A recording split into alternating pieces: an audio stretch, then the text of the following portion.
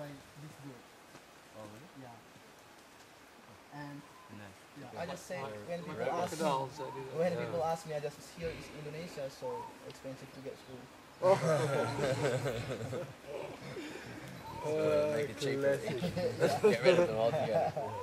of only, only wanted a son, I didn't want a daughter. yeah, yeah, yeah. I can only afford two kids. Все.